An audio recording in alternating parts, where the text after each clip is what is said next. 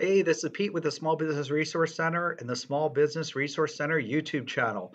Uh, I made this video about the eclipse because I found this web. It's actually Univision and uh, it's pretty cool. You put your zip code in and it tells you when you will see the solar eclipse and where it will be. So, you know, an example, example, Beverly Hills, California, boom it shows you approximately what you'll look like, what it will look like, and when to watch it. So, pretty nice.